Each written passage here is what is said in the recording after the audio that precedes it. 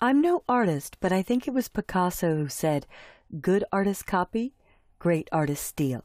Now, not that I'm encouraging stealing, I'm going to show you a trick. I'm going to start by making a new document, File New. I'll leave it on the Photoshop default, which is 7 by 5 at 72 pixels per inch, and I'll name this Bear. So I'll click OK, and I'll hit Command plus or Control plus to zoom in. In Photoshop CS6, if you go to Window and Actions, you can actually record your brushstrokes. You'll see I've done this once before, but I'm going to delete it and start fresh. And to start fresh, I'll make a new set called Kelly. And a very key point, if I go to my panel menu, I want to allow tool recording in the action. So I'm ready to make a new action and I'll name this bear. And when I hit record, Photoshop isn't timing me, so I could go get coffee if I wanted to. I simply am having it watch my brushstrokes. And I'll start by making a new layer. And I'll name that layer Bear. Now, I'm totally cheating. I actually have a magazine cutout of a teddy bear laid on top of my graphics tablet that I'm going to trace. It's an excellent way to learn how to do contours and shapes and textures.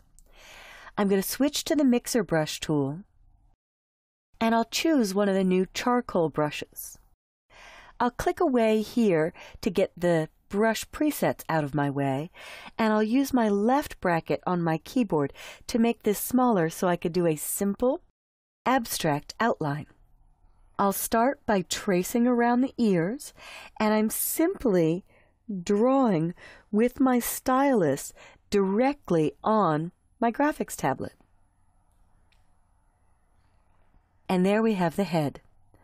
I'll come along the side for the arm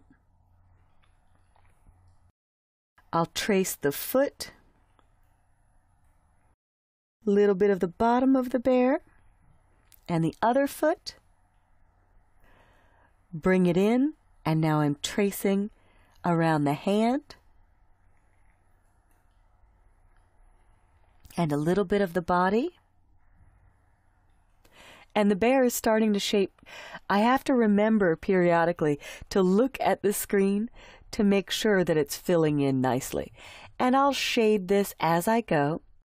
And now I think I'm ready to do a little bit of the nose and the mouth. And I'll color in the ears. And I'll color in the feet. I'm actually just coloring it how it looks in my magazine cutout.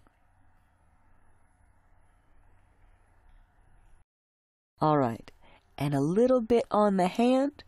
And I think I'm mostly done with this bear. Oh, he could use some eyes.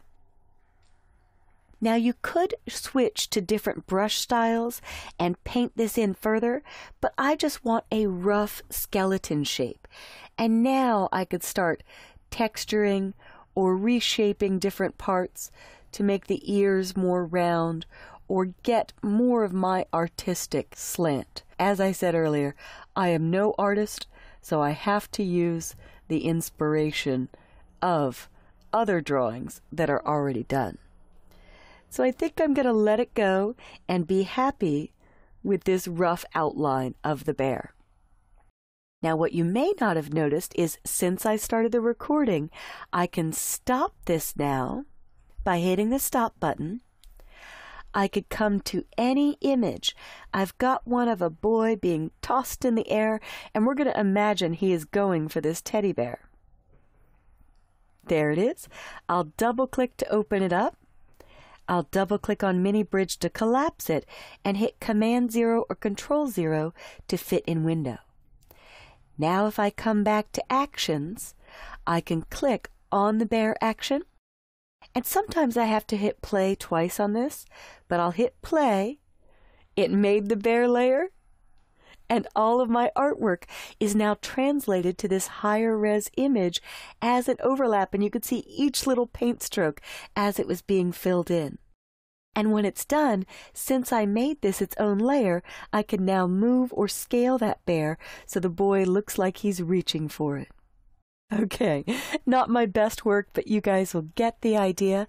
I'll go to my Move tool, click on the bear layer, and drag this over, and maybe I want to use Edit, Free Transform, with my Shift key to scale it down a bit, and possibly rotate it press return or enter to accept it, and now it looks like he's leaping for that little bear. So the ability to record an action of brushstrokes or painting has to be turned on through the panel menu in the Actions panel, Allow Tool Recording.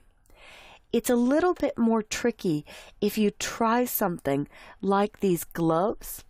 If I open this gloves image, and collapse it. When I went to paint this gloves image and record it, I'll just show you the process. Another new action, and these are Astis mittens. And I'll record. I made a new layer called glove. And I used some of the natural bristle brushes. Again, on my mixer brush tool, I like to start with the fan brush. But with this one, I actually held down Option or Alt and clicked to load the actual gloves as my surface. But it didn't load anything because Sample All Layers wasn't on. If I Option click or Alt click, now I could start painting it in but in this case, it's not really producing the same effect because you technically can't grab snapshots of the underlying layer to use as the source. My option clicking or alt clicking isn't really getting the photo in here because I'm on a solid brush. If I turn off load brush after each shape, and option click or alt click, I'm still only getting colors from the canvas, not the entire image.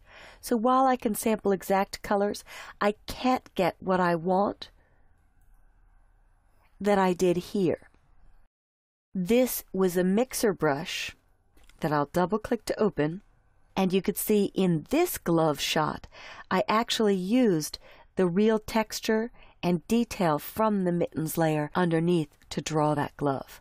So it gets far more complicated if you are sampling real parts of the photograph, and you will get a warning if you try that in Actions and turn on Allow Tool Recording. It actually builds underpainting layers, detail layers, so it gets more complex. But the bottom line is, if you're a good artist, if you have a graphics tablet, you can record your own actions. I'm going to stop this recording of the Astis Mittens and I'll trash it because it's not usable the way I'd like to use it. If you are an artist and you can paint from scratch or even trace things on a graphics tablet, you can replay that at any resolution. And if I look at this initial bear and compare it with the flying image, if I hold down Command Spacebar or Control Spacebar to zoom in, you'll see this did play back at the higher resolution. So this looks a lot sharper than my original bear that I first traced. So give this a try with your own magazine cutout and your own images to see if you can build some artwork from scratch that you record and play back on other images.